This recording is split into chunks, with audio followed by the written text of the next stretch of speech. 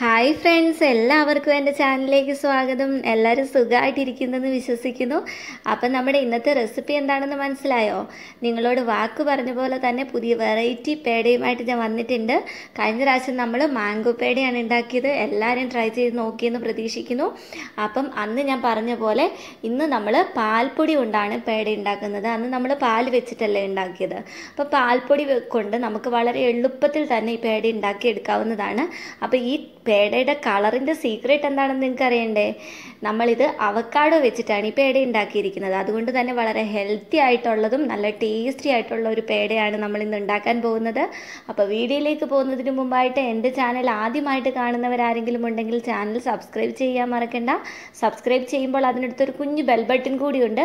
അതുകൂടി നിങ്ങൾ ക്ലിക്ക് ചെയ്യുക. എന്നാലേ ഞാനിടുന്ന വീഡിയോസ് നിങ്ങൾക്ക് നോട്ടിഫിക്കേഷനായി വരികയുള്ളൂ. അപ്പോൾ നമുക്കിത് എങ്ങനെയാണ് ഉണ്ടാക്കുന്നത് നോക്കാം അല്ലേ? ആദ്യം തന്നെ നമ്മുടെ പേടി ഉണ്ടാക്കാൻ ആവശ്യമായ സാധനങ്ങൾ എന്തൊക്കെയാണെന്ന് നോക്കാം. നമ്മുടെ പേടയുടെ മെയിൻ ഇൻഗ്രീഡിയന്റ് എന്ന് പറയുന്നത് അവക്കാഡോ ആണ്. ഇതിന്ന് ഒരുപാട് ഹെൽത്ത് ബെനിഫിറ്റ് ഉള്ള ഒരു ഫ്രൂട്ടാണ് അതായത് നമ്മുടെ കൊളസ്ട്രോൾ ബ്ലഡ് പ്രഷർ ഷുഗർ ലെവലൊക്കെ മെയിന്റെയിൻ ചെയ്യാനായിട്ടും ക്യാൻസർ പ്രൊട്ടക്ഷൻ തരാനായിട്ടും അതുപോലെ നല്ല ഡൈജഷനും പ്രഗ്നൻസിക്കാർക്കൊക്കെ ഒരുപാട് ഹെൽത്ത് ബെനിഫിറ്റ് നൽകുന്ന ഒരു ഫ്രൂട്ടാണ് നമ്മുടെ ഹാർട്ട് ഐസ് ബ്രെയിൻ അതുപോലെ ആന്റി ഏജിങ് ആയിട്ടുള്ള ഒരു ഫ്രൂട്ട്സാണ് അവക്കാഡോ തീർച്ചയായും ഒരു ദിവസം ഒരെണ്ണം വീതമെങ്കിലും കഴിക്കുന്നത് നിങ്ങളുടെ ഹെൽത്തിന് നല്ലതായിരിക്കും. ഞാനിപ്പോൾ ഇത് രണ്ടായിട്ട് മുറിച്ച് വെച്ചിട്ടുണ്ട്. കാരണം നമുക്ക് ഇതിന്റെ തൊലി കളഞ്ഞെടുക്കണമല്ലോ. അപ്പോൾ ഇതിന്റെ തൊലി കളയാന്ന് വെച്ച് കഴിഞ്ഞാൽ വളരെ എളുപ്പമുള്ളൊരു കാര്യമാണ്. നമുക്കൊരു സ്പൂൺ വെച്ചിട്ട് ഇതുപോലെ ഒരു തുള്ളി പോലും നഷ്ടപ്പെട്ടു പോകാതെ നമുക്ക് തൊലി നീക്കം ചെയ്യാവുന്നതാണ്. അപ്പം നമുക്കിത് ചെറിയ ചെറിയ പീസുകളായിട്ട് മുറിച്ചതിന് ശേഷം മിക്സിയിൽ ഇട്ട് കൊടുക്കാം. എന്നിട്ട് നന്നായിട്ടൊന്ന് അടിച്ചെടുക്കണം. അപ്പം ഞാനിത് മിക്സിയിലേക്ക് ഇട്ട് കൊടുക്കാൻ പോവാണ്.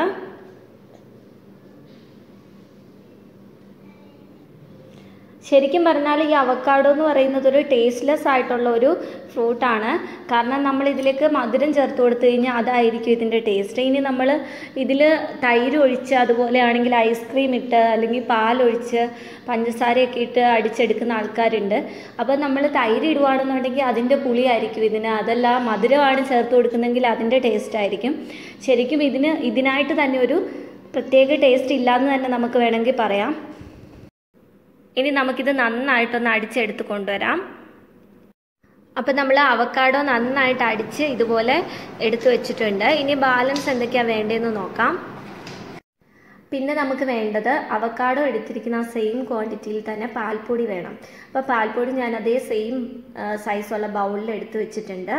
പിന്നെ ഒരു ആറ് ടേബിൾ സ്പൂൺ പഞ്ചസാരയും അതുപോലെ ഒരു മൂന്ന് ഏലക്കയും കൂടെ പൊടിച്ചെടുത്ത് വെച്ചിട്ടുണ്ട്. പഞ്ചസാര ഓരോരുത്തർക്കും അവരവരുടെ ഇഷ്ടത്തിനനുസരിച്ച് കൂടുതലോ കുറവോ ചേർത്ത് കൊടുക്കാവുന്നതാണ്.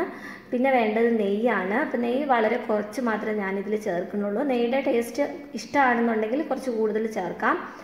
പിന്നെ വേണ്ടത് നമുക്ക് ക്യാഷ്നട്ടാണ് അപ്പോൾ ഇത് നമ്മളിതെല്ലാം ഉണ്ടാക്കി കഴിഞ്ഞിട്ട് ഒരു ഭംഗിക്ക് അതിന്റെ മുകളിൽ വെച്ച് കൊടുക്കാൻ വേണ്ടിയാണ് എടുത്തിരിക്കുന്നത്. അതുപോലെ നമ്മളൊരു അര ഗ്ലാസ് പാലും ഇതിന്റെ കൂടെ ചേർക്കുന്നുണ്ട്. ഇനി നമുക്കിത് ഉണ്ടാക്കാനായിട്ട് തുടങ്ങാം. അപ്പോൾ അതിനുവേണ്ടി ഞാനൊരു പാൻ ഗ്യാസിലേക്ക് വെച്ചിട്ടുണ്ട്. അതിലേക്ക് നമുക്ക് വളരെ കുറച്ച് നെയ്യ് ചേർത്ത് കൊടുക്കാം. അപ്പോൾ ഞാൻ ഓൾറെഡി പറഞ്ഞിരുന്നല്ലോ നെയ്യുടെ ടേസ്റ്റ് നിങ്ങൾക്ക് ഇഷ്ടമാണെന്നുണ്ടെങ്കിൽ കുറച്ച് കൂടുതൽ ചേർത്ത് കൊടുക്കാവുന്നതാണ്. ഞാൻ വളരെ കുറച്ച് നെയ്യ് മാത്രമാണ് ഇതിലേക്ക് ഇപ്പോൾ ചേർത്ത് കൊടുക്കുന്നത്. ഈ നെയ്യ് നന്നായിട്ടൊന്ന് ഉരുകി വരട്ടെ. ഉരുകി വന്നതിന് ശേഷം നമ്മൾ എടുത്തു വെച്ചിരിക്കുന്ന ആ ഒരു അര ഗ്ലാസ് പാലുണ്ടല്ലോ അത് നമുക്ക് ഇതിലേക്ക് ഒഴിച്ചു കൊടുക്കണം. ഇപ്പം നമ്മുടെ നെയ്യൊക്കെ നന്നായിട്ട് ഉരുകി കഴിഞ്ഞു. ഞാനിനി ഇതിലേക്ക് പാൽ ഒഴിച്ചു കൊടുക്കാൻ പോവാണ്. ഈ പാലിൽ നമ്മൾ ഒട്ടും തന്നെ വെള്ളം ചേർത്തിട്ടില്ല. വെള്ളം ഒട്ടും ചേർക്കാത്ത പാലാണിത്. അപ്പോൾ ഈ നെയ്യുമായിട്ട് ഇതൊന്ന് നന്നായിട്ട് മിക്സ് ആയതിന് ശേഷം ഒന്ന് തിളച്ച് വരട്ടെ. ഇപ്പം നമ്മുടെ പാലൊക്കെ നന്നായിട്ടൊന്ന് ചൂടായി തിളയ്ക്കാൻ തുടങ്ങിയിട്ടുണ്ട് അപ്പോൾ അതിലേക്ക് ഞാൻ എടുത്തു വെച്ചിരുന്ന പഞ്ചസാരയും അതുപോലെ ഏലക്ക പൊടിച്ചതും കൂടി ഇട്ട് കൊടുത്തിട്ടുണ്ട്. ഇത് നന്നായിട്ടൊന്ന് ഇളക്കി കൊടുക്കാം. പഞ്ചസാര നന്നായിട്ടൊന്ന് അലിഞ്ഞ് വരട്ടെ.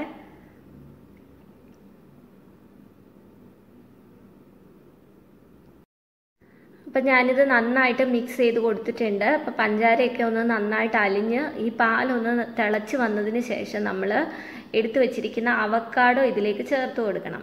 അപ്പോൾ ഇപ്പോൾ ഇത് ഒന്ന് തിളയ്ക്കാൻ തുടങ്ങിയിട്ടുണ്ട്. അപ്പം ഞാൻ ഇതിലേക്ക് അവക്കാടോ ചേർത്ത് കൊടുക്കുവാണ്. ഇത് ചേർത്ത് കൊടുത്തതിന് ശേഷം നന്നായിട്ടൊന്ന് ഇളക്കി മിക്സ് ചെയ്ത് കൊടുക്കാം.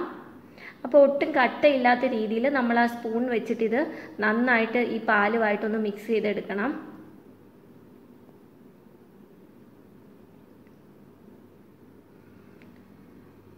അപ്പം ഞാനിത് ഒട്ടും തരിയൊന്നും ഇല്ലാത്ത രീതിയിൽ നന്നായിട്ട് മിക്സ് ചെയ്തെടുത്തിട്ടുണ്ട്.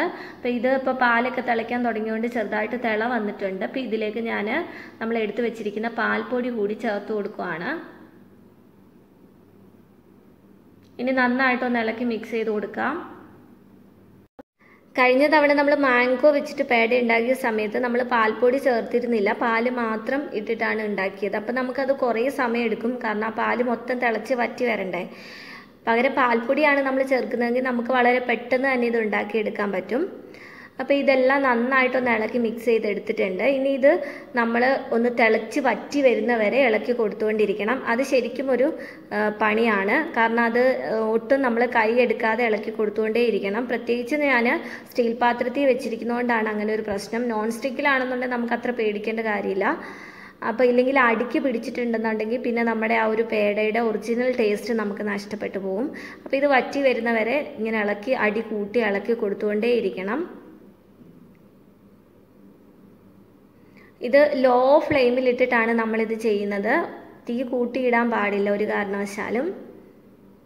അപ്പം ഇത് വറ്റി തുടങ്ങിയിട്ടുണ്ട്. പക്ഷെ നന്നായിട്ട് പറ്റിച്ചെടുക്കണ്ടേ നമുക്ക്. എന്നാലേ അത് ആ ഒരു കറക്റ്റ് കൺസിസ്റ്റൻസിയിൽ നമുക്ക് കിട്ടത്തുള്ളൂ. ഇളക്കുന്ന സമയത്ത് ഇതുപോലെ സൈഡൊക്കെ ചേർത്ത് ഇളക്കി എല്ലാം ഒന്ന് നന്നായിട്ട് സൈഡ് സെന്ററിലേക്ക് ആക്കി കൊടുക്കുക. ശരിക്കും പറഞ്ഞാൽ അവക്കാഡോ ഒക്കെ ജ്യൂസ് അടിച്ച് കൊടുത്തു കഴിഞ്ഞാൽ ഇവിടെ ആർക്കും വേണ്ട. മോൾക്കൊക്കെ ആണെങ്കിൽ തീരെ ഇഷ്ടമല്ല. കാരണം അതിന്റെ ഒരു വേറൊരു ടേസ്റ്റ് അല്ലേ? അവൾക്ക് ഒട്ടും ഇഷ്ടമല്ല. പിന്നെ നിർബന്ധിച്ചൊക്കെ ഞാൻ കൊടുക്കാറുണ്ട്. കാരണം നല്ലതല്ലേ? അത് നമ്മുടെ ഹെൽത്തിന് വളരെ ഗുണം ചെയ്യുന്ന ഒരു സാധനമല്ലേ?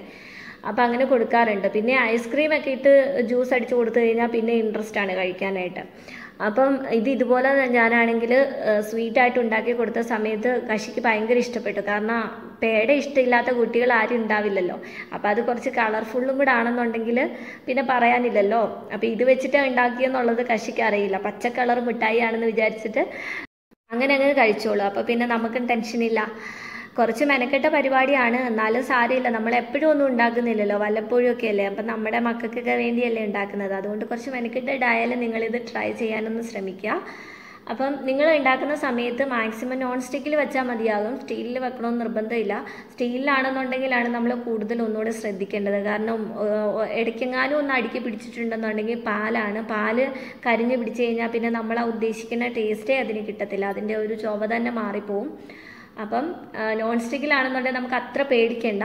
എന്നും പറഞ്ഞ് ഇളക്കി കൊടുക്കേണ്ട എന്നല്ല ഞാൻ ഉദ്ദേശിച്ചത്. ഇത്രത്തോളം പേടിക്കേണ്ട ആവശ്യം വരത്തില്ല.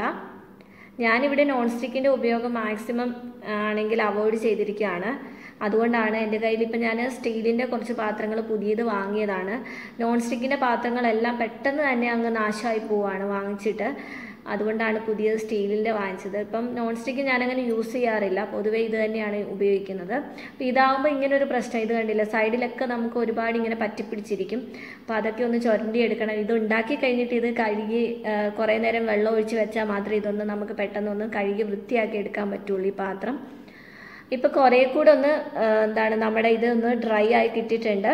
എന്നാൽ ഇനി ഒരു ഒരു പത്ത് മിനിറ്റും കൂടെ നമുക്ക് ഒന്നുകൂടെ ഒന്ന് ശരിക്കും ഒന്ന് ഡ്രൈ ആക്കി എടുക്കാം. ഇല്ലാന്നുണ്ടെങ്കിൽ നമ്മൾ ആ ഒരു ഉണ്ട പിടിച്ച് നമ്മൾ ആ ഒരു ഷേപ്പിലാക്കുന്ന സമയത്ത് നമുക്ക് കറക്റ്റ് ആ ഒരു ഷേപ്പിൽ കിട്ടില്ല. അത് മാത്രമല്ല അതിങ്ങനെ ഒട്ടിപ്പിടിക്കും. അപ്പോൾ അങ്ങനെ ഒട്ടിപ്പിടിക്കാതെ കിട്ടണമെന്നുണ്ടെങ്കിൽ നല്ല ഡ്രൈ ആക്കി നമ്മൾ എടുക്കണം. എങ്കിലേ നമ്മൾ ഉദ്ദേശിക്കുന്ന ആ ഒരു ഷേപ്പിൽ നമുക്ക് നമുക്ക് ഇഷ്ടമുള്ള ഷേപ്പിൽ ഇത് ഉണ്ടാക്കാവുന്നതാണ്. റൗണ്ട് ഷേപ്പിൽ ഉണ്ടാക്കാം അല്ലെങ്കിൽ ചതുരത്തിലോ.